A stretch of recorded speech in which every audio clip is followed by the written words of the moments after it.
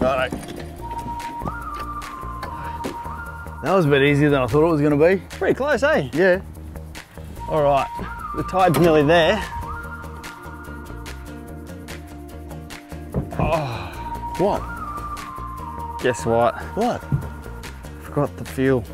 Oh, lucky it's only a two minute walk up the street. I'll go get it.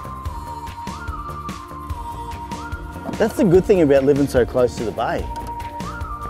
You don't have to walk too far if you forget something. 32 Torquay Road is just up the road, literally. So if you forget something, it's not a problem.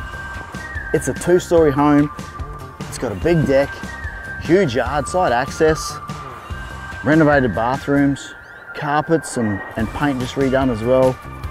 It's a big home over two levels. And the good thing about that is there's plenty of separation. Living area upstairs, two more downstairs, centrally located is the kitchen. Like it's just a nice home. And it's got an electric gate, so it's completely fenced and private if you've got little ones that you're worried about getting out on the road. It's a fantastic spot. Not to mention, there's plenty of room for one of these. Or two, or three, or four. Is it full? Funny. Did you get the bungs? See you, bud.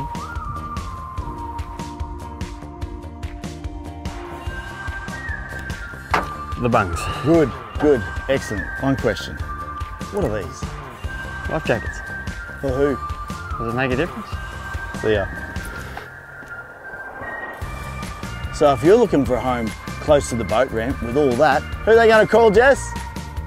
They're gonna call us, aren't they? When I get back. They are.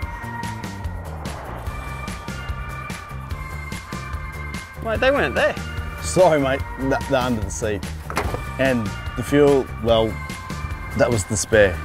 Talking of spare, we actually had two spare bungs too, so it's good that we got spares of everything, huh? Can we go fishing?